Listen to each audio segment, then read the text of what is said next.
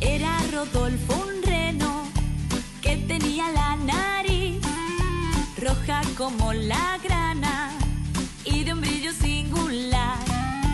Todos sus compañeros se reían sin parar y nuestro buen